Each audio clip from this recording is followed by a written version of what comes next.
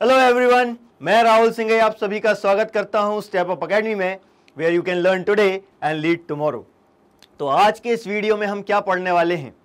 आज हम पढ़ने वाले हैं what is democracy and why democracy class ninth का सिविक्स का फ़र्स्ट चैप्टर है, और इसको हम आपके एग्ज़ाम के पर्पज से वन शॉट में कवर करेंगे। एक वीडियो में बहुत कम टाइम में पूरा चैप्टर अच्छे से कवर करेंगे। तो what is democracy and why democracy ये दो पोर्शन हैं। सबसे पहले हम देखेंगे डेमोक्रेसी होती क्या है मतलब उसकी डेफिनेशन और उस डेफिनेशन को समझने के लिए, बेहतर तरीके से समझने के लिए उसके जो फीचर्स होने चाहिए, उन फीचर्स के बारे में हम पढ़ेंगे। इसके बाद हम ये समझने की कोशिश करेंगे कि डेमोक्रेसी की ज़रूरत क्यों है। तो सबसे पहले हम ये समझते हैं कि डेमोक्रेसी होती क्या है। तो पहला क्वेश्चन क्या है? वॉट इज़ डेमोक्रेसी डेमोक्रेसी एक फॉर्म ऑफ़ गवर्नमेंट है। क्या है एक? Form of government. ठीक है? डेमोक्रेसी के अलावा और भी बहुत सारे फॉर्म ऑफ़ गवर्नमेंट होते हैं। जैसे कि डिक्टेटरशिप मोनार्की मिलिट्री रूल ऐसे कई सारे डिफरेंट फॉर्म ऑफ़ गवर्नमेंट होते हैं, लेकिन हम बात कर रहे हैं डेमोक्रेसी की तो ये किस तरीके का फॉर्म ऑफ़ गवर्नमेंट है? ये एक ऐसी गवर्नमेंट है जहाँ पर रूलर्स कौन इलेक्ट करता है? वहाँ के लोग है ना? तो democracy is a form of government in which rulers कौन? रूलर्स ध्यान से समझिएगा इसको। Rulers are elected by the people तो ये एक ऐसी डेफिनेशन मिल गई अपन को जिससे कि हम एक डेमोक्रेटिक और नॉन डेमोक्रेटिक कंट्री में डिफरेंस कर पाते हैं। मतलब ऐसी कंट्री जो क्लियरली नॉन डेमोक्रेटिक है, उससे हम डेमोक्रेसी को अलग कर पाते हैं इससे। ठीक है? लेकिन इस डेफिनेशन से हमें कई बार समस्या क्या होती है कि कुछ ऐसी कंट्रीज़ हैं जो एक्चुअली में डेमोक्रेटिक नहीं है, लेकिन इस सिंपल डेफिनेशन के हिसाब से हम देखेंगे तो हमें ऐसा लगता है कि वो डेमोक्रेटिक हैं। तो इस डेफिनेशन को और डिटेल में समझने की ज़रूरत है है ना? इस चीज़ को हम एक इमेज के थ्रू समझते हैं। ये जो इमेज है, ये इराक में जो इलेक्शंस हुए थे with the presence of USA and other powerful countries वहाँ की इमेज है जिसमें हमें दिख रहे हैं कि ये जो आर्मी है, वो डेमोक्रेसी लेकर आ रही है, लेकिन डेमोक्रेसी में देखो एम कैसा दिख रहा है हमको? मैकडोनल्ड्स वाला, है ना? मतलब कि इससे हम क्या समझ रहे हैं? कि वहाँ पर जो इलेक्शंस हो रहे हैं, वो फ्री एंड फेयर नहीं है। वहाँ पर जो यूएस और अदर पावरफुल कंट्रीज़ हैं, उनका इन्फ्लुएंस है। और वो इसीलिए वहाँ डेमोक्रेसी ला रहे हैं ताकि इन कंट्रीज़ में जो एम हैं, वो यहाँ पर एंटर हो सकें। ठीक? तो यहाँ पर देखने से तो लग रहा है कि यहाँ डेमोक्रेसी आ रही है, लेकिन क्या एक्चुअली में डेमोक्रेसी है? इसी चीज़ को समझने के लिए हमने जो डेफिनेशन पढ़ी democracy is a form of government in which rulers are elected by people इसको हमें बहुत डिटेल में समझने की ज़रूरत है। अब हमें क्या समझना है इसमें? इस डेमोक्रेसी की डेफिनेशन में हमें यह समझना है, ये फॉर्म ऑफ़ गवर्नमेंट का मतलब क्या है? रूलर्स इलेक्टेड और पीपल इन चार वर्ड्स को हमें बहुत अच्छे से समझना है। सबसे पहले हम समझते हैं ये रूलर्स रूलर्स वर्ड की यदि हम बात करें तो रूलर्स कौन होंगे? इलेक्टेड होंगे कि इलेक्टेड नहीं होंगे? तो दोनों टाइप के रूलर्स होते हैं। हम जानते हैं नॉन इलेक्टेड रूलर्स कौन से होते हैं? जो हमारे गवर्नमेंट ऑफिसर्स हैं, है ना?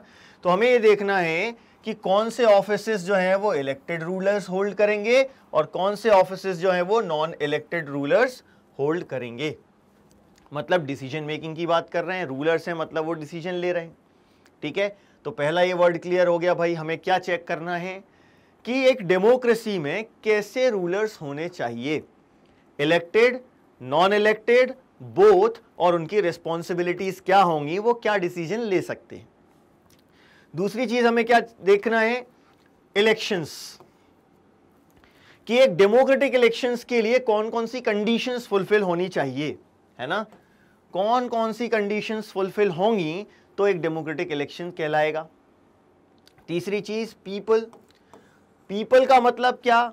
यहाँ पर दो तरीके के लोग होंगे। एक वो जो रूलर्स की तरह इलेक्ट किए जाएँगे और एक वो जो रूलर्स को इलेक्ट करेंगे। है ना? तो थर्ड चीज़ हमें यही सीखनी है कि who can elect the rulers और गेट इलेक्टेड एज रूलर्स ठीक है? और फाइनली समझना है किस तरीके की फॉर्म ऑफ़ गवर्नमेंट को हम डेमोक्रेसी कहेंगे। क्या एक बार जब हमने अपने रूलर सिलेक्ट कर लिए तो क्या वो कुछ भी कर सकते हैं? ऐसा बिल्कुल भी नहीं है भाई। एक बार इलेक्ट कर दिया, यदि वो अपनी मर्ज़ी से कुछ भी कर सकते होते तो फिर तो भाई ये डेमोक्रेसी कहीं से नहीं रहेगी ना?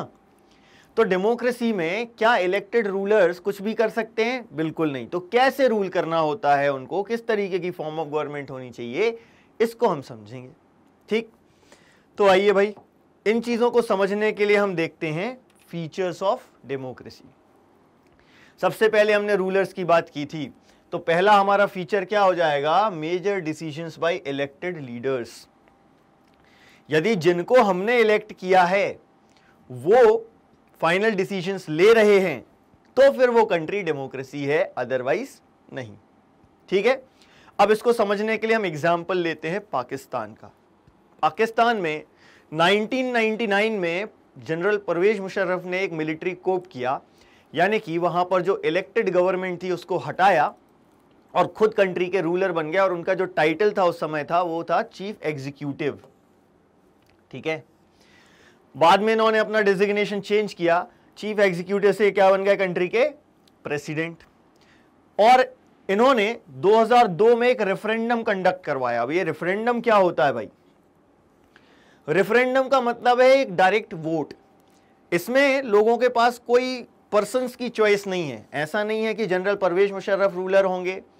या कोई और रूलर होगा। यहाँ पर बस लोगों के पास एक चॉइस है, हाँ और ना में जवाब देना। तो एक डायरेक्ट वोट होता है, जिसमें लोगों को हाँ और ना में जवाब देना है है ना? तो क्या होता है रेफरेंडम में? 2002 में जो रेफरेंडम हुआ, इसमें ये डायरेक्टली पूछा गया that general Pervez Musharraf should remain the president of Pakistan और नॉट और इस रेफरेंडम का आंसर क्या था? यस लेकिन बहुत से लोगों का ये कहना है कि ये जो इलेक्शन सॉरी ये जो रेफरेंडम हुआ है, ये रेफरेंडम में चीटिंग हुई है। कौन कौन कह रहा है भाई ऐसा? बहुत सारे लोग हैं ह्यूमन राइट्स ऑर्गेनाइजेशन है, पाकिस्तानी मीडिया है, जो डेमोक्रेसी में एक्टिविस्ट होते हैं, वो हैं। ये सब क्या कह रहे हैं कि माल प्रैक्टिस हुई हैं और फ्रॉड हुआ है ना? माल प्रैक्टिस मतलब चीटिंग ठीक है? इन सभी का ये कहना था कि ये जो इलेक्शंस हुए हैं, इन इलेक्शंस में माल प्रैक्टिस हुई हैं फ्रॉड हुआ है, लेकिन इससे क्या फ़र्क पड़ता है भाई? वो तो प्रेसिडेंट बने रहेंगे, उनको पाँच साल का एक्सटेंशन मिल गया। नाउ अब जनरल परवेज मुशर्रफ कब तक रहेंगे प्रेसिडेंट 2007 तक जनरल परवेज मुशर्रफ प्रेसिडेंट रहेंगे। अब जब यह रेफरेंडम हो गया है तो इन्होंने एक लीगल फ्रेमवर्क ऑर्डर पास किया। लीगल फ्रेमवर्क ऑर्डर इस लीगल फ्रेमवर्क ऑर्डर में इन्होंने पाकिस्तान के कॉन्स्टिट्यूशन में कुछ चेंजेस किए। कैसे चेंजेस किए? दो मेन चेंजेस किए। सबसे पहला चेंज क्या किया इन्होंने? कि प्रेसिडेंट जो है, वो नेशनल और प्रोविंशियल लेवल पर जो असेंबलीज हैं, है ना, उनको डिसमिस कर सकता है। Can dismiss the national and provincial assemblies किसी डेमोक्रेसी में ऐसा हो सकता है क्या? कि एक इलेक्टेड लीडर अपनी मर्ज़ी से वहाँ पर जो इलेक्टेड गवर्नमेंट है, उसको हटा सके। लेकिन यहाँ हो सकता है। कैसे हो सकता है? ये लीगल फ्रेमवर्क ऑर्डर के थ्रू इन्होंने पाकिस्तान के कॉन्स्टिट्यूशन को अमेंड किया। और इससे परवेश मुशर्रफ को ये पावर मिल गई कि वो नेशनल और प्रोविंशियल असेंबलीज को डिसमिस कर सकते हैं। जब भी वो चाहें, तब कर सकते हैं। ठीक। दूसरा क्या चेंज किया? कि जो सिविलियन गवर्नमेंट फॉर्म होगी, यानी प्राइम मिनिस्टर बनेगा काउंसिल ऑफ़ मिनिस्टर बनेगी, ये सिविलियन गवर्नमेंट होगी, इस सिविलियन गवर्नमेंट के वर्क को कौन सुपरवाइज करेगा? National security council national security council और अब जब नाम से समझ में आ रहा है नेशनल सिक्योरिटी काउंसिल है तो सिक्योरिटी में डेफिनेटली मिलिट्री ऑफिसर्स जो है वो डोमिनेटिंग होंगे। ठीक? और इतने सारे चेंजेस करने के बाद पाकिस्तान में इलेक्शंस कंडक्ट करवाए गए। फ्री एंड फेयर इलेक्शंस हुए, इलेक्शंस में कोई चीटिंग नहीं हुई। एक प्राइम मिनिस्टर बना, काउंसिल ऑफ़ मिनिस्टर बनी, यानी कि गवर्नमेंट फॉर्म हुई, लेकिन क्या वो एक्चुअली में रूलर्स हैं? क्यों भाई? रूलर्स नहीं हैं। क्यों नहीं हैं? इसीलिए नहीं है क्योंकि फाइनल डिसीज़न मेकिंग पावर किसके पास है? जनरल परवेश मुशर्रफ के पास है और नेशनल सिक्योरिटी काउंसिल के पास है। यानी कि एक तरीके से देखा जाए तो पाकिस्तानी आर्मी रूल कर रही थी पाकिस्तान में। है ना? तो क्या हम इसको डेमोक्रेसी कह सकते हैं? बिल्कुल नहीं कह सकते। क्यों नहीं कह सकते? क्योंकि जिन लोगों को वहाँ के जनता ने इलेक्ट किया है, वो एक्चुअली में रूलर्स हैं ही नहीं। देखो तो यहाँ से फीचर मिल गया। अब हमें समझ में आ रहा है कि डेमोक्रेसी की डेफिनेशन को और अच्छे से समझने की ज़रूरत क्यों थी? क्योंकि यदि हम सिर्फ़ डेफिनेशन पर चलते तो हर वो कंट्री जहाँ पर इलेक्शंस होते हैं, उसे हम डेमोक्रेसी कह देते लेकिन यहाँ देखिए पाकिस्तान का एग्ज़ाम्पल यहाँ पर भी इलेक्शंस हुए और इन इलेक्शंस में गवर्नमेंट इलेक्ट हुई, लेकिन जो लोग वहाँ पर इलेक्ट किए गए हैं, जो लोग गवर्नमेंट में हैं एक्चुअली में वो रूलर्स नहीं हैं। तो हम कह सकते हैं कि पाकिस्तान जनरल परवेश मुशर्रफ के टाइम पर डेमोक्रेसी नहीं था। ठीक है? अब कैसे समझें इसको? इस फीचर को हम एक लैंग्वेज में फ्रेम करते हैं, है ना? क्या लैंग्वेज बनती है? ना democracy final decision making power must rest with those who are elected by people है ना? तो ये हमें लैंग्वेज याद रखना है भाई। ये आपको लिखना पड़ेगा फीचर यदि आपको फीचर्स ऑफ़ डेमोक्रेसी पूछे जाते हैं तो हमें चार फीचर्स लिखने हैं और उसमें सबसे पहला फीचर हमको मिल गया in a democracy final decision making power must rest with those who are elected by people ठीक है? ये याद रखना है हमको, ये मेन पॉइंट है और ये हमारा एग्ज़ाम्पल है जिसके थ्रू हमने इस फीचर को समझा। ठीक? दूसरा फीचर पे आते हैं अपन। फ्री एंड फेयर इलेक्शंस होना चाहिए। अब ये फ्री एंड फेयर इलेक्शन कैसे हो?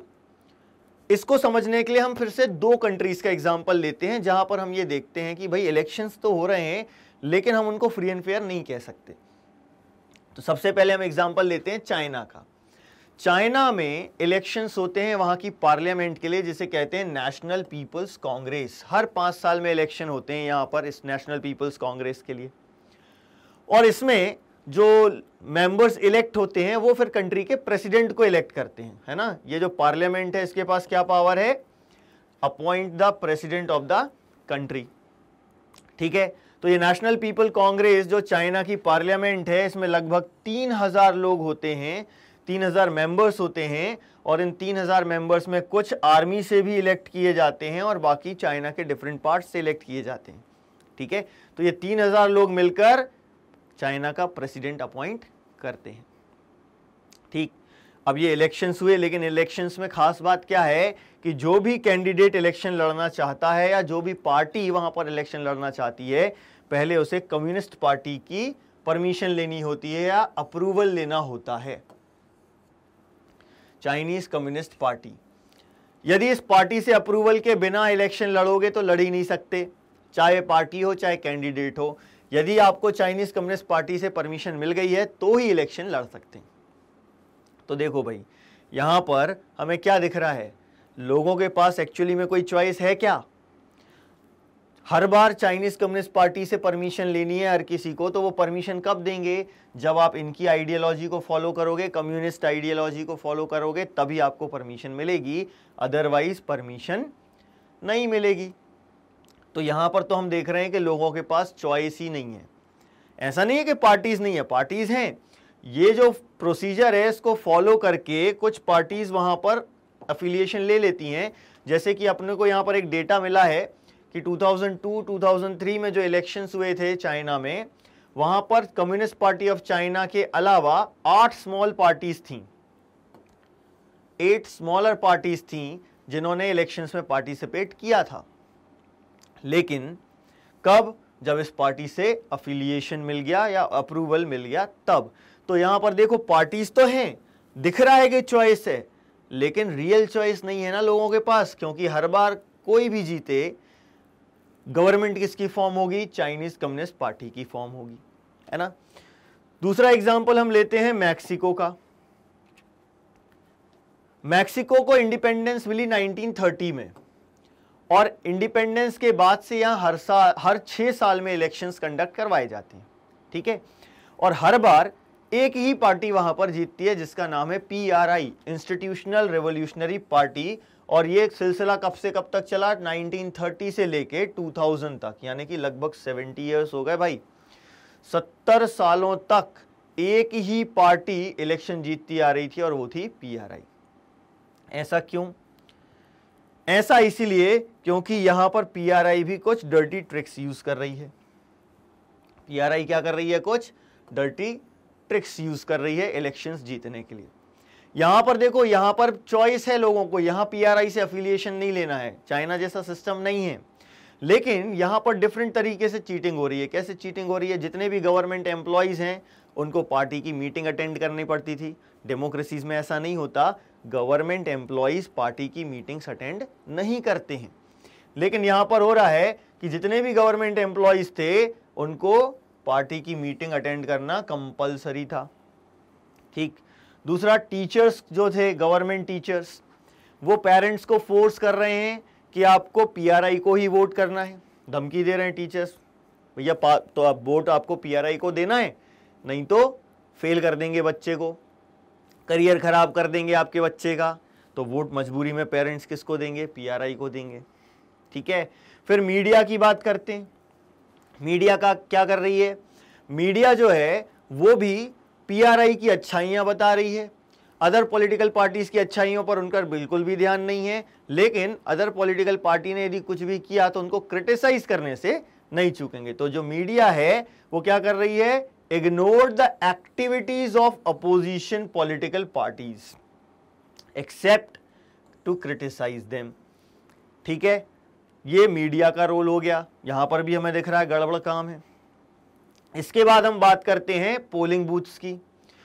कई बार क्या करती है गवर्नमेंट की अचानक से पोलिंग बूथ चेंज कर देती है। डिसाइडेड है, कल सुबह यहाँ पर पोलिंग होनी है, ये सारे लोग यहाँ पोलिंग बूथ पर आकर वोट करेंगे। लेकिन उनको लगा कि यार यहाँ पर हार जाएँगे, यहाँ पर लोग हमें वोट नहीं करेंगे तो उस पोलिंग बूथ को वो वहीं, वहाँ से कहीं और शिफ्ट कर देंगे। ठीक? तो ये भी एक चीटिंग हो गई। इसके अलावा बहुत सारा पैसा भी खर्च करते हैं ये, है ना? तो large amount of money spend करते हैं। बहुत सारा पैसा खर्च कर रहे हैं ये इलेक्शन जीतने के लिए। इन सारे रीजन से पीआरआई इलेक्शन जीत रही थी। अब यहाँ पर देखो चाइना जैसा सिस्टम नहीं है। यहाँ पर हमें दिख रहा है कि political parties are free to contest elections है ना? लेकिन समस्या क्या है? यहाँ पर एक समस्या ये है कि भैया, यहाँ पर चॉइस होने के बावजूद भी जीत नहीं सकता कोई और, क्योंकि जो पार्टी जो पावर में है, वो इलेक्शन जीतने के लिए डर्टी ट्रिक्स यूज़ कर रही है। ठीक है? तो यहाँ पर हमको दूसरा फीचर मिल जाता है डेमोक्रेसी का, कि डेमोक्रेसी में क्या होना चाहिए? Elections must be free and fair and those who are currently in power they have a fair chance of losing है ना? तो those who are currently in power have a fair chance of losing ये नहीं कि एक बार जीत गए तो जीत गए, अब हारेंगे ही नहीं, है ना? तो यहाँ से हमें डेमोक्रेसी का दूसरा फीचर मिलता है। अब यहाँ से क्वेश्चंस बन सकते हैं आपको। एक तो आपका फीचर वाला क्वेश्चन कॉमन है, लेकिन चाइना और मैक्सिको में क्या चल रहा है उसके बेसिस पर भी आपको क्वेश्चंस पूछे जा सकते हैं। अब चलते हम तीसरे फीचर की तरफ़। One person one vote one value मतलब कि हर एक व्यक्ति के पास एक वोट हो और हर एक के वोट की वैल्यू इक्वल हो। ऐसा नहीं है कि एक के वोट की वैल्यू कुछ है, दूसरे की कुछ है। देखो, ऐसा कई जगह होता है, जैसे कि कुछ एग्जाम्पल्स दिए हैं। सऊदी अरेबिया का एग्ज़ाम्पल दिया है कि 2015 तक सऊदी अरेबिया में विमेन को वोटिंग राइट्स नहीं थे। अब मिल गए हैं, लेकिन 2015 तक ये वोटिंग राइट्स नहीं थे। अभी भी कई कंट्रीज़ ऐसी हैं जहाँ पर लोगों के वोटिंग राइट्स इक्वल नहीं हैं। कुछ ऐसी हैं जहाँ पर रूल्स ऐसे बनाए गए हैं कि जो वहाँ के एथनिक ग्रुप को बिलोंग नहीं करते हैं, उनको वोटिंग राइट गेन करना बड़ा मुश्किल होता है। जैसे कि एस्टोनिया का आपको एग्ज़ाम्पल दिया हुआ है।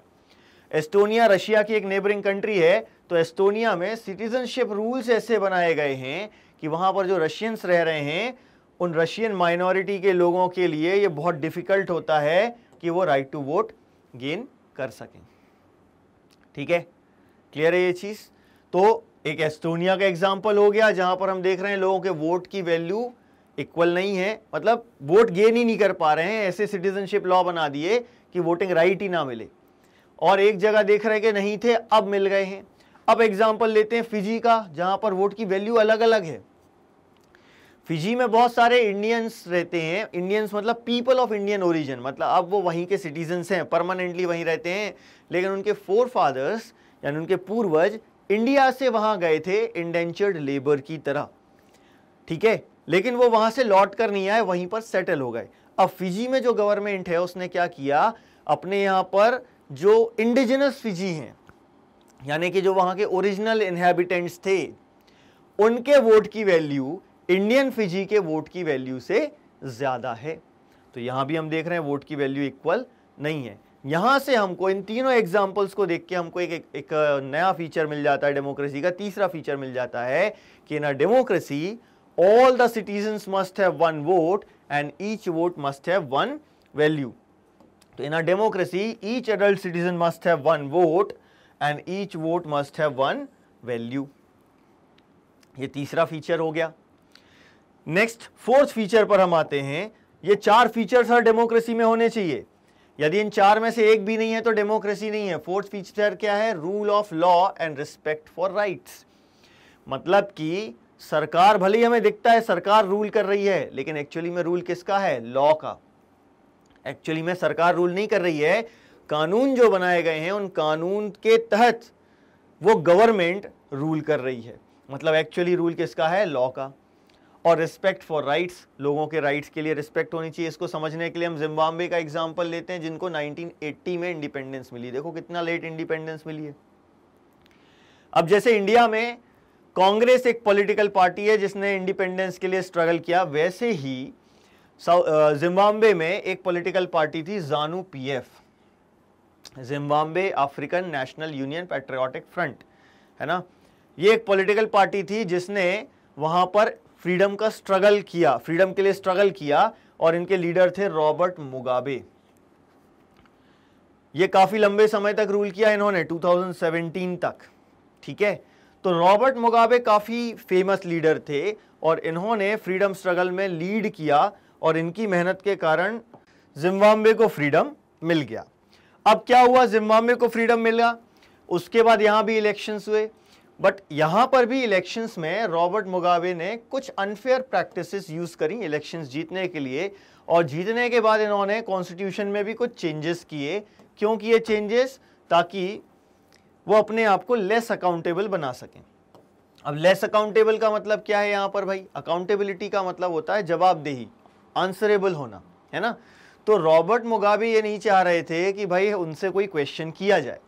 इसीलिए उन्होंने कॉन्स्टिट्यूशन में चेंज करवाया और कॉन्स्टिट्यूशन में ऐसे चेंजेस करवाए कि कोई इनसे क्वेश्चंस ना पूछ सके। ठीक, इसके अलावा जो अपोजिशन पॉलिटिकल पार्टीज़ हुआ करती थी, इनके वर्कर्स को हरास किया जाता था। हरासमेंट मतलब है परेशान किया जा रहा है उनको और उनकी मीटिंग्स डिसरप्ट की जा रही हैं। मतलब उनको मिलने ही नहीं दिया जा रहा कि वो कुछ अपोजिशन फॉर्म कर सकें ढंग से। ठीक है? इसके अलावा पब्लिक प्रोटेस्ट इनको भी बैन कर दिया गया कि कोई पब्लिक प्रोटेस्ट नहीं हो सकता डेमोन्स्ट्रेशन नहीं हो सकता। तो इसको बैन करने के लिए लॉ बना दिया गया। These things were declared illegal ठीक है? एंड एक ऐसा लॉ बनाया गया जो कि सिटीजन्स के राइट्स को क्रिटिसाइज सिटीजन्स का जो राइट्स होता है प्रेसिडेंट को क्रिटिसाइज करने का, उसको भी बैन कर देता है। है ना? तो अब यहाँ देखो, रॉबर्ट मुगाबे पावरफुल होते चले जा रहे हैं।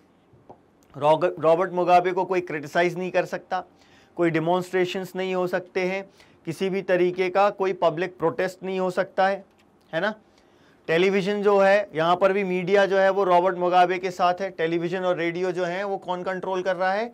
गवर्नमेंट कंट्रोल कर रही है। कुछ इंडिपेंडेंट न्यूज़पेपर्स हैं, लेकिन जो लोग इंडिपेंडेंटली लिख रहे हैं, इनके हिसाब से नहीं लिख रहे हैं, उनको भी हरास किया जा रहा है। है ना?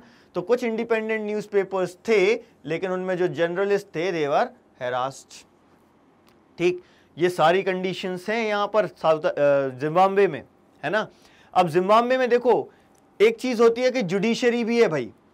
वो गवर्नमेंट के जो शॉर्ट कमिंग्स होती हैं, उनको दूर करती है या उसको गवर्नमेंट ने जो भी गलत काम किया, उसके लिए उसको रोकती है या उसके सजा देती है है ना? लेकिन यहाँ पर जिम्बाब्वे में क्या हो रहा है कि कुछ कोर्ट के जो जजमेंट्स हैं, उनको भी इग्नोर कर दिया। मतलब यहाँ पर हम ये देख रहे हैं कि इलेक्शंस हो गए हैं रूलर सिलेक्ट हो गए हैं, लेकिन अब वो मनमर्जी चला रहे हैं। क्या ऐसे डेमोक्रेसी कहलाएगी? बिल्कुल भी नहीं। इसका मतलब यह है कि जब हम डेमोक्रेसी की बात करते हैं तो सिर्फ़ इलेक्शंस कैसे हो रहे हैं, ये देखना ज़रूरी नहीं है, क्योंकि इनिशियली तो रॉबर्ट मुगाबे अपनी पॉपुलैरिटी के कारण जीते थे। लेकिन इलेक्शंस के पहले क्या कंडीशन है और इलेक्शन के बाद क्या कंडीशन है, ये देखना भी ज़रूरी है। लोगों के पास कुछ राइट्स होने चाहिए ना, कि वो इलेक्शन से पहले ये डिस्कस कर सकें कि भैया हमारे लिए अच्छा रूलर कौन होगा। मीटिंग्स ऑर्गेनाइज कर सकें, अपनी ऑर्गेनाइजेशंस बना सकें एसोसिएशंस बना सकें। है ना, अपने व्यूज़ जो हैं वो लोगों के सामने रख सकें। लेकिन ये कोई भी फ्रीडम यहाँ पर नहीं दिख रहा है। ऊपर से कोर्ट है कोर्ट के जजमेंट्स जो हैं उनको भी इग्नोर कर दिया जा रहा है। मतलब कि लोगों के राइट्स को प्रोटेक्ट करने के लिए भी कोई नहीं है। तो यहाँ से हमें अपनी डेमोक्रेसी का फोर्थ फीचर मिल जाता है कि एक डेमोक्रेटिक गवर्नमेंट कैसी होती है। A democratic government rules within the constitutional law and respect the citizens right है ना? तो फोर्थ फीचर मिल गया democratic government rules within the limits set by constitutional law and citizens right तो गवर्नमेंट की लिमिट क्या है? हमारे जो अधिकार हैं, वो सरकार की लिमिटेशन है। ठीक है? तो ये चार फीचर्स यदि हमें दिख रहे हैं तो ही वो कंट्री डेमोक्रेटिक कंट्री है। सिर्फ़ इलेक्शंस कंडक्ट कर देने से कोई कंट्री डेमोक्रेसी नहीं बन जाती। तो हमें यहाँ पर इतना समझ में आ गया अभी कि एक डेमोक्रेसी होती क्या है। लेकिन अगला क्वेश्चन क्या है? ये डेमोक्रेसी की ज़रूरत क्यों है? अब इसको समझने के लिए हमें डेमोक्रेसी के बारे में और जानना होगा कि उसमें क्या अच्छा होता है, क्या बुरा होता है। देखो, हर क्वाइन के दो पहलू होते हैं, है ना? एक अच्छा है, एक बुरा है, ठीक है? तो वैसे ही डेमोक्रेसी का भी है। तो पहले हम डेमोक्रेसी के कुछ कमियाँ देखते हैं, उनकी शॉर्ट कमिंग्स देखते हैं आर्ग्यूमेंट्स अगेंस्ट डेमोक्रेसी की। क्या कमी है डेमोक्रेसी में? ये कमियों को दूर करने के लिए हमारे पास बहुत सी मेथड्स होती हैं। डेमोक्रेसी में हम इन कमियों को दूर कर सकते हैं, लेकिन फिर भी हमें यह दिख रहा है कि ये कुछ शॉर्ट कमिंग्स हैं। ठीक है? तो सबसे पहली चीज़ क्या है डेमोक्रेसी में? लीडर्स बदलते रहते हैं। अब लीडर्स बदलते रहते हैं तो उसके कारण क्या होता है? पॉलिटिकल इंस्टेबिलिटी है ना? तो पहला हमें फीचर पहला आर्ग्यूमेंट अगेंस्ट डेमोक्रेसी क्या मिल गया? कि डेमोक्रेसी में leaders keep changing and this leads to instability in political order ठीक है? दूसरा क्या? कि डेमोक्रेसी में जो लीडर्स हैं, उनमें मॉरलिटी नहीं होती है। क्यों नहीं होती है मॉरलिटी क्योंकि पॉलिटिकल कंपटीशन है और ये पॉलिटिकल कंपटीशन किस चीज़ के लिए है? पावर गेन करने के लिए है। है ना? हर कोई पावर गेन करना चाहता है और वो पावर गेन करने के लिए कोई भी मेथड यूज़ करने के लिए तैयार हो जाता है। वो करप्शन करते हैं वो लोगों को मारते हैं डराते हैं, धमकाते हैं, सब कुछ करने को तैयार हो जाते हैं। तो ये कह रहे हैं कि डेमोक्रेसी में सब कुछ किस चीज़ के लिए है? पॉलिटिकल कंपटीशन के लिए है, पावर प्ले के लिए है। इसीलिए डेमोक्रेसी में कोई मॉरलिटी नहीं होती। There is no scope for morality in democracy ये इसकी शॉर्ट है। बुराई है इसकी कि इलेक्शन जीतने के लिए लोग बहुत कुछ गलत कर जाते हैं। एक और क्या बुराई है इसमें? बहुत ज़्यादा कंसल्टेशन होता है, बहुत सारे लोगों से डिस्कस किया जाता है। तो यहाँ पर एक और चीज़ होती है कि उससे डिसीजंस बहुत धीरे धीरे होते हैं डिले हो जाता है है ना? तो ये एक और शॉर्ट कमिंग है इसकी कि बहुत सारे लोगों से कंसल्ट करने के कारण डिले होते हैं। तो some people so many people have to be consulted in a democracy that leads to delay ठीक। फिर कई बार ये भी कहते हैं कि जिन्हें हमने चुना है उन्हें पता ही नहीं होता है कि लोगों की प्रॉब्लम्स क्या हैं और उनको कैसे सुलझाना है और इसके कारण वो गलत निर्णय लेते हैं बैड डिसीजंस लेते हैं ना? तो ये जो लीडर्स हैं leaders do not know what is best interest of the people so क्या होता है? This leads to bad decisions और एक और शॉर्टकमिंग क्या है? लोगों को ही नहीं पता होता है कई बार कुछ चीज़ें, है ना? तो क्या नहीं पता? Ordinary people don't know what is good for them हमारे लिए अच्छा क्या है, ये हम ही नहीं जानते। ऐसा इसलिए होता है क्योंकि बहुत सारे लोग इलिटरेट होते हैं बहुत सीधे साधे होते हैं, वो इन चीज़ों में पढ़ते नहीं हैं तो उनको पता ही नहीं रहता कि what is good for them और इसीलिए कहते हैं कि डेमोक्रेसी में हम हम डिसीजंस ले रहे हैं ना ऑर्डनरी सिटीजन डिसीजंस ले रहे हैं हमारे रिप्रेजेंटेटिव्स के थ्रू तो हमें ही नहीं मालूम कि हमारे लिए अच्छा क्या है। इसका मतलब यह है कि कई बार हम अपने लीडर्स सही से नहीं चुनते हैं। गलत लोगों को चुन लेते हैं, ठीक है? इसके अलावा एक और चीज़ है कि भैया ये जितने भी शॉर्ट कमिंग्स हैं, ये हर हर एक फॉर्म ऑफ़ गवर्नमेंट में रहती हैं और वैसे ही डेमोक्रेसी भी है। डेमोक्रेसी कोई एक मैजिकल सोल्यूशन नहीं है है ना? ऐसा नहीं है कि अपन ने कोई छड़ी घुमाई, कोई जादू की छड़ी है और वो घुमा दी अपन ने और सब ठीक हो जाए। ऐसा नहीं होता है। डेमोक्रेसी भी क्या है? एक फॉर्म ऑफ़ गवर्नमेंट है। लेकिन इसकी खास बात क्या है? कि ये आपको अपने रूलर्स चुनने का अधिकार देती है। है ना? तो डेमोक्रेसी में क्या है कि हम भले ही डायरेक्टली डिसीज़न नहीं ले रहे हैं इनडायरेक्टली ले रहे हैं, अपने रूलर अपने रिप्रेजेंटेटिव्स के थ्रू ले रहे हैं, लेकिन हम खुद अपने डिसीजंस ले रहे हैं ना अब वो गलत हो या सही हो, वो हमारी हमारी परेशानी है। लेकिन हम निर्णय तो ले पा रहे हैं ना, ऐसा तो नहीं है कि हमें निर्णय ही नहीं लेने दिया जा रहा है। तो डेमोक्रेसी में क्या है खास, सबसे खास बात क्या है कि ये क्या इंश्योर करती है people take their own decisions ठीक है? तो ये बहुत अच्छी बात है कि भाई हम हमें हमें मौका मिल रहा है अपने डिसीजंस खुद लेने का। ठीक? लेकिन अब क्वेश्चन यहाँ पर ये नहीं है कि भाई डेमोक्रेसी अच्छी है कि बुरी है। क्वेश्चन यहाँ पर यह है कि डेमोक्रेसी बाकी की फॉर्म ऑफ़ गवर्नमेंट से अच्छी है कि नहीं है है ना? तो क्या क्वेश्चन है? Is democracy better than other forms of government और नॉट ठीक है? तो हमें क्या समझना है अब कि डेमोक्रेसी बाकी से बेहतर है कि नहीं? डेफिनेटली डेमोक्रेसी बाकी की फॉर्म ऑफ़ गवर्नमेंट से बहुत बेहतर है। अब कैसे है? उसके लिए हम पढ़ेंगे आर्ग्यूमेंट्स फॉर डेमोक्रेसी मतलब इसकी अच्छाइयाँ क्या हैं? ठीक है? तो सबसे पहली अच्छाई क्या है? It is more accountable form of government ज़्यादा अकाउंटेबल गवर्नमेंट है। कैसे है भाई ज़्यादा अकाउंटेबल आंसरेबल कैसे है? इसका एग्ज़ाम्पल ले सकते हैं कि चाइना में भी फेमाइन हुई, इंडिया में भी फेमाइन हुई, उसी समय सेम टाइम ड्यूरेशन में 1950s 1960s में, लेकिन चाइना में बहुत सारे लोगों की डेथ हुई, इंडिया में नहीं हुई। क्यों ऐसा था? डिफरेंस कहाँ पर था? फॉर्म ऑफ़ गवर्नमेंट में। चाइना में एक कम्युनिस्ट गवर्नमेंट थी उस समय और इंडिया में एक डेमोक्रेटिक गवर्नमेंट थी तो इसने रिस्पॉन्ड किया। जवाबदेही तय करी अपनी कि हाँ हमें आंसर करना है तो इन्होंने एक्शंस लिए और इस तरीके से एक्शंस लिए कि लोगों की डेथ ना हो, उनको खाने को तो मिल जाए। चाइना में ऐसा नहीं हुआ, है ना? तो यहाँ पर हम क्या देख रहे हैं कि डेमोक्रेसी क्या होती है? Democracy is more accountable form of government ठीक? दूसरी चीज़ क्या? It improve the quality of decision making delay ज़रूर होते हैं, अभी हमने पढ़ा था कि बहुत सारे लोगों से कंसल्ट करना होता है, जिसके कारण क्या होते हैं? डिले होते हैं।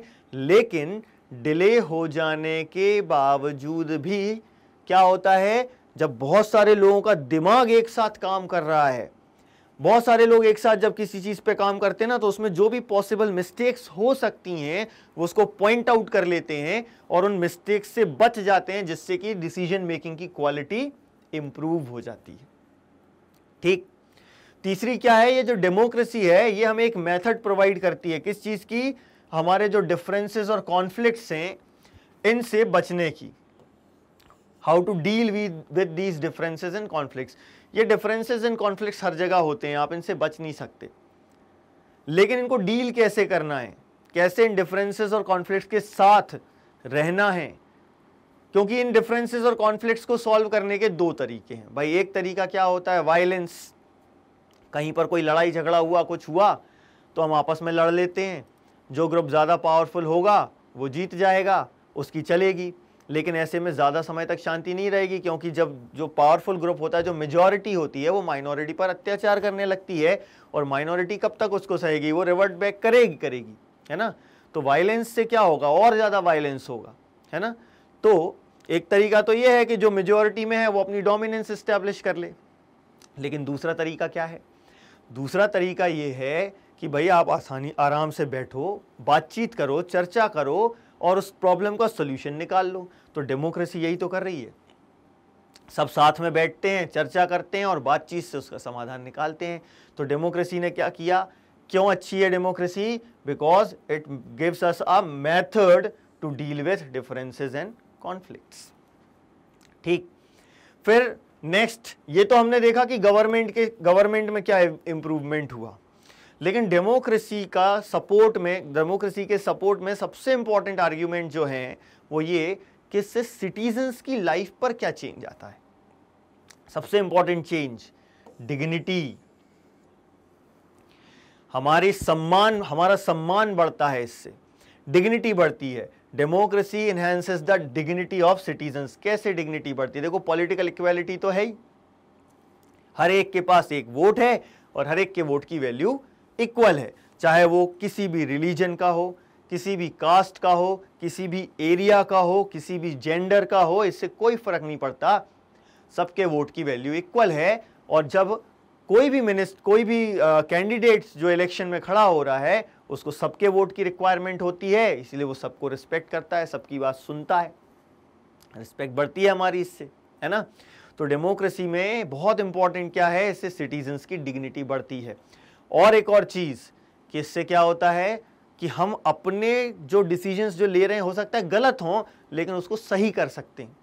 मतलब ये हमें अपनी मिस्टेक्स को सही करने का एक मौका देती है। तो एक और इसके सपोर्ट में जो स्टेटमेंट है, वो क्या है? It allows us to correct its own mistakes democracy में हम अपनी गलतियों को सुधार सकते हैं।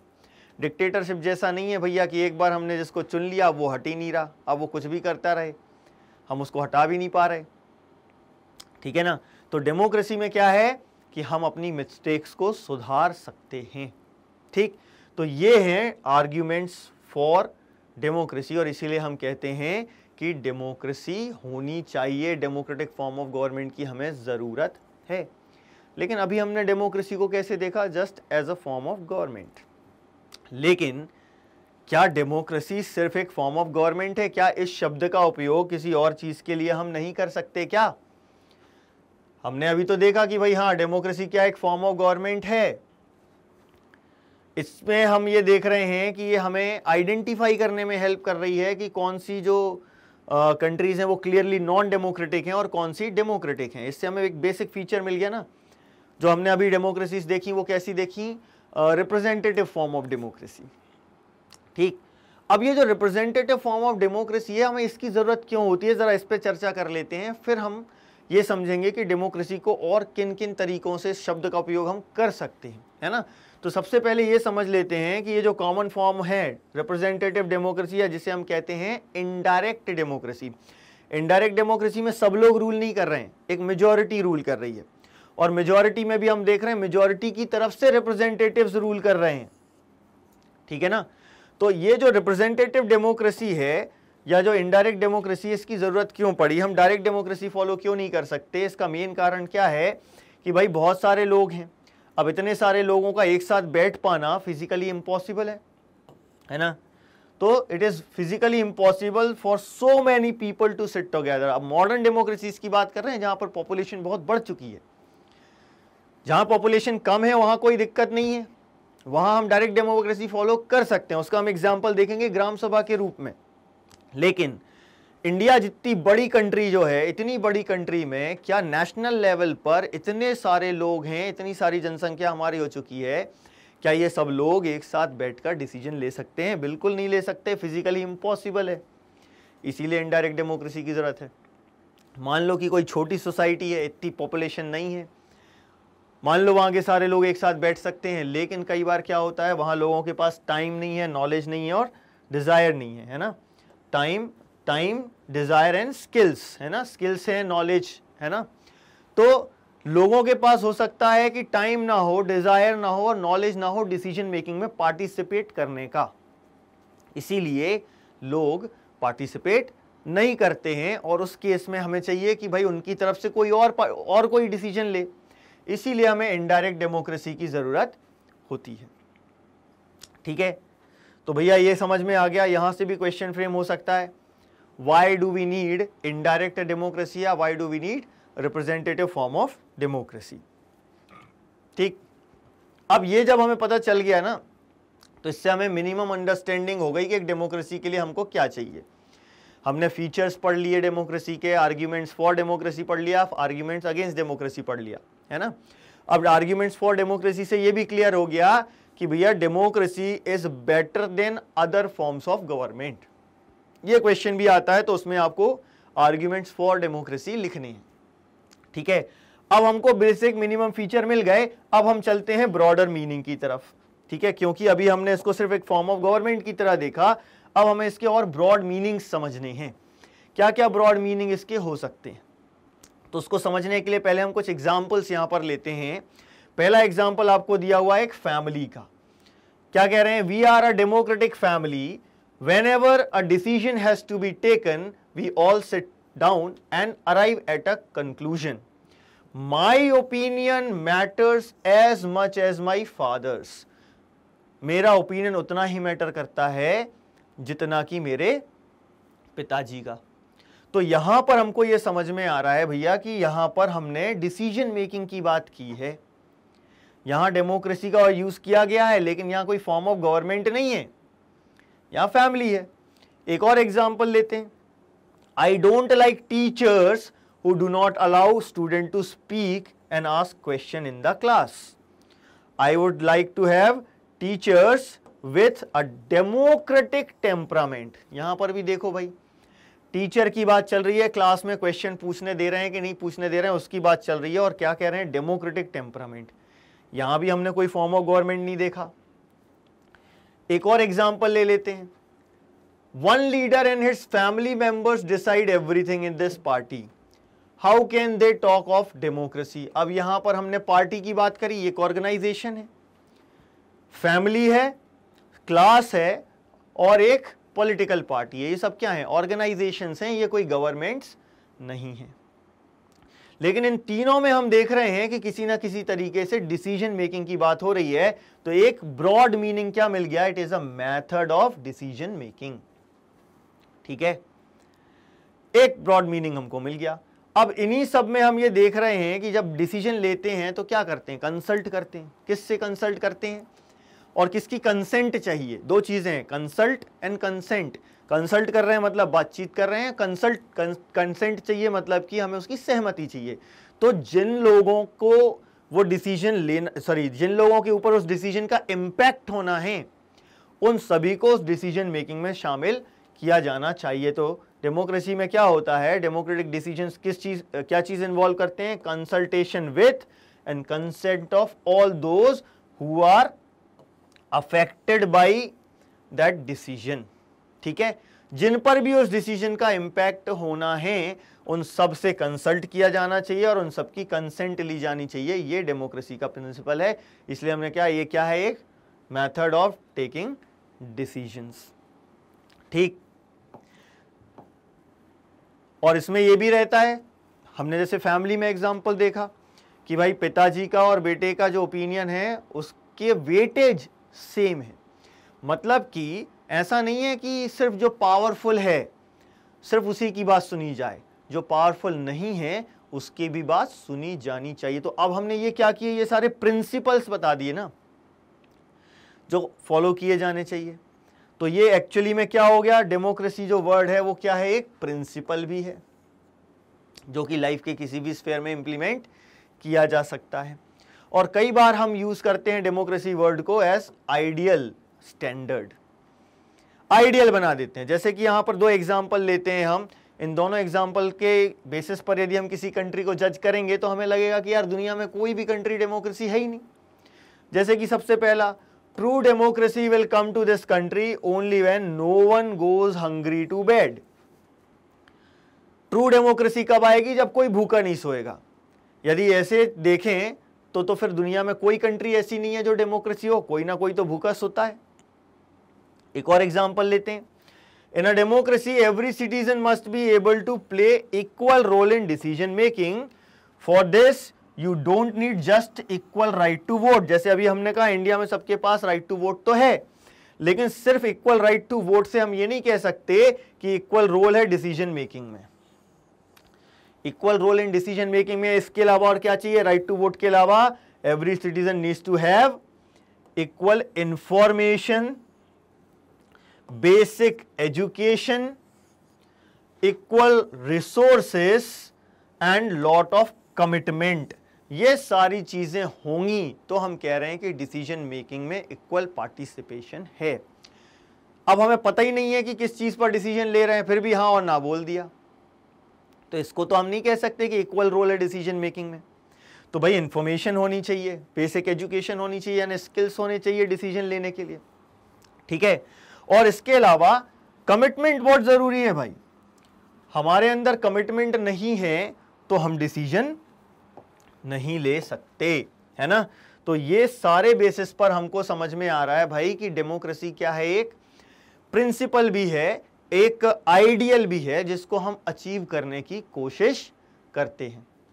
ठीक है? तो अब हम क्या कर सकते हैं? डिस्टिंग्विश कर सकते हैं एक मिनिमम डेमोक्रेसी में और एक गुड डेमोक्रेसी में। ठीक? अब हमें ये समझ में आ रहा है भाई डेमोक्रेसी में डिसीज़न लेने के कई सारे तरीके हो सकते हैं, लेकिन वो डेमोक्रेसी कब तक कहलाएगी? जब तक एक प्रिंसिपल जो है ना फॉलो किया जाए कंसल्टेशन ऑन इक्वल बेसिस जब तक ये कंसल्टेशन इक्वल बेसिस पर हो रहा है, तब तक हम ये कह सकते हैं कि वो डेमोक्रेसी है। अब कई तरीकों से डिसीज़न ले सकते हैं, है ना? अब जैसे कि हमने अभी रिप्रेजेंटेटिव्स की बात करी थी, लेकिन हम डायरेक्ट डेमोक्रेसी भी फॉलो कर सकते हैं, जैसे कि हमारे यहाँ ग्राम सभा होती है। स्मॉल कम्युनिटीज में, ग्राम सभा में क्या होता है? एक गाँव के सभी अडल्ट मेंबर्स उस ग्राम सभा के मेंबर होते हैं। ये सब एक साथ बैठते हैं। उस पर डिसीज़न लेते हैं, ठीक है? और उसको फिर ग्राम पंचायत को फॉलो करना होता है। हालाँकि ये उतना सक्सेसफुल अभी नहीं है इंडिया में, जितना होना चाहिए बट इस पर काम किया जा रहा है। तो यहाँ से एक चीज़ बहुत क्लियर हो जाती है हमको कि डेमोक्रेसी में सिर्फ़ ये ज़रूरी नहीं है कि हम अपने लीडर सेलेक्ट कर दें। हम क्या कर रहे हैं? हम डिसीज़न मेकिंग में पार्टिसिपेट कर रहे हैं कि नहीं? ये भी बहुत ज़रूरी होता है है ना? तो what we do as citizen can make a difference to make our country more और लेस डेमोक्रेटिक ठीक है? क्लियर है ये चीज़? और एक और स्टेटमेंट हमें याद रखना है कि कंट्री का फेट किस चीज़ पर डिपेंडेंट है? कंट्री का फेट डिपेंड है कि हम क्या कर रहे हैं? रूलर्स अकेला नहीं। हमने जिनको चुना सिर्फ़ वो नहीं। हम क्या कर रहे हैं? एज सिटीजन्स ये बहुत ज़रूरी है। इसके बेसिस पर यह डिसाइड होगा कि वो कंट्री और डेमोक्रेटिक होगी, ज़्यादा डेमोक्रेसी होगी वहाँ पर कि लेस डेमोक्रेटिक होगी। ठीक? तो यहाँ पर ये हमारा चैप्टर कंप्लीट होता है। ये वीडियो आपको कैसा लगा? हमारे कमेंट सेक्शन में हमें ज़रूर बताएँ और इन सारे कोर्सेज के लिए हमारे चैनल से जुड़े रहिए, हमारे चैनल को लाइक कीजिए सब्सक्राइब कीजिए और ज़्यादा से ज़्यादा लोगों के साथ इसको शेयर कीजिए। Thank you very much